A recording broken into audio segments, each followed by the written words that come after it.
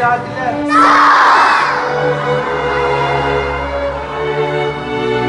Versene bir bakayım. Ben de bakacağım. Git lan.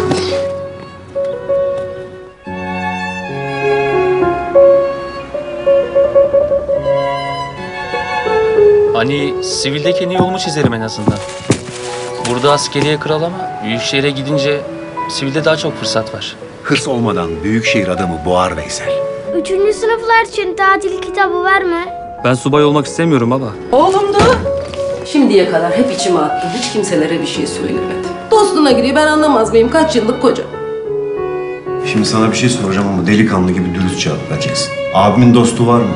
Babam iyi olacak mı? Birinci yerinde. İyi olur inşallah ya. Araba limonla da kaldı. İçinde para var. Ama sahip çıkın da kaybolmasın. Yazık be. Şu babanın yaptığı işe bak Ali ya. Ne oldu Mustafa? Dostun nerede şimdi?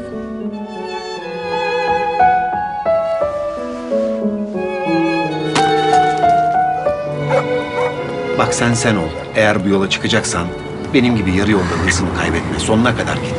Anladın mı?